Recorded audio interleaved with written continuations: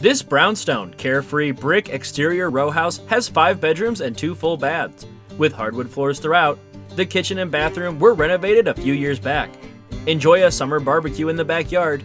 Schedule a time to tour your new home today by calling Victoria Stillings.